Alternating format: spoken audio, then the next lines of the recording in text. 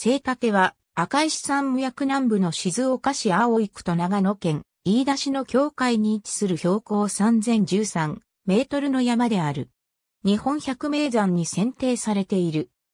南アルプス国立公園内にあり、手法は標高3013メートルの聖竹で、その東側約500メートルの地点に奥聖竹、南側約800メートルの地点に小聖竹を従えている。全国で21座ある3000メートル峰の中では、最も標高が低い。南アルプス中で最南端の3000メートル盆である。山頂周辺とその南側の標高2300メートルほどに位置する生平に大規模な高山植物の群生地がある。山名は南東を流れる聖沢が肘を曲げたような形で、その肘折やへずりが点火したのとされている。別名が、日地ヶ岳。南面には、カール地形がある。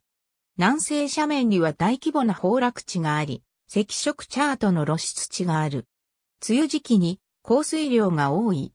山頂部は5月下旬まで積雪することがある。6月初旬頃まで山頂部の登山道に残雪がある。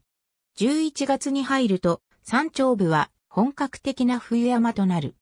東側の斜面は特殊東海製紙の以下は斜遊林で、針葉樹林の植林地となっている。山頂周辺は、森林限界の廃末帯の花崗岩の岩山で、高山植物が自生し、ライチョウの生息地となっている。山腹は針葉樹林に覆われていて、日本カモシカ、日本ジカなどが生息している。生平周辺では、地球温暖化などの影響により、日本ジカによる高山植物の食害が問題となっていて、毒性のあるバイケイソウ以外のライチョウが餌とする高山植物が食い尽くされている山域がある。環境省はその対策調査のために鹿の防護柵を設置するなどのグリーンワーカー事業を行っている。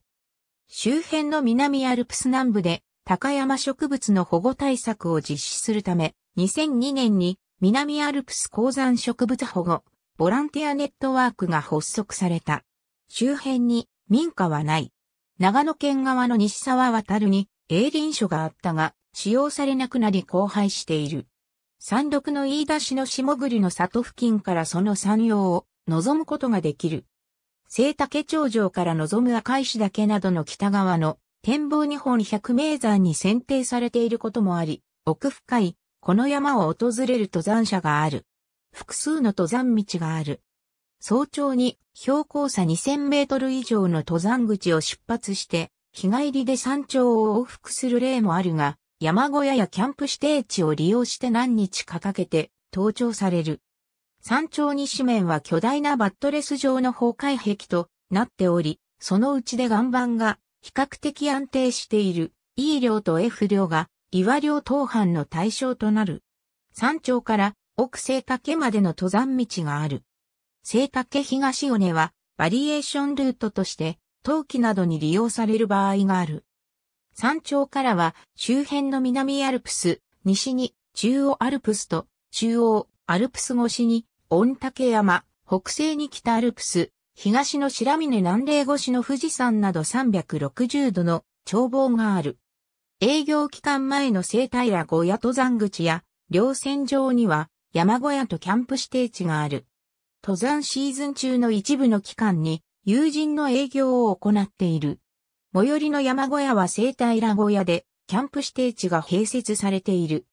南アルプス国立公園内であり、キャンプ指定地を除き、全山爆営禁止となっている。各山への登山基地となる沢良島には東海フォレストが管理、運営を行っている沢良島ロ地があり、2007年に南アルプス城、城写真館が併設され、東海フォレストの山小屋の宿泊者のみ、畑、低第一ダムからこの山小屋までのリムジンバスを利用することができる。葛飾北斎、富岳36系美州富士、三原、名古屋富士見ヶ原から望む聖竹。富士山に見立てられた。赤石山無役の南部の狩猟線上にある。東側に聖竹東尾根が伸びる。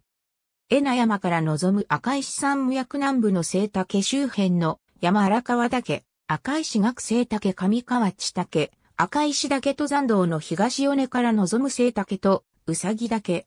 聖岳北面の赤石沢の支流の獅子骨、沢の五時刻には、夏でも設計が残る。以下の源流となる河川は、太平洋へ流れる。山頂から東 5.5km の聖卓には赤石ダムがあり、東 3.3km には聖卓大滝がある。長野県側静岡県側。ありがとうございます。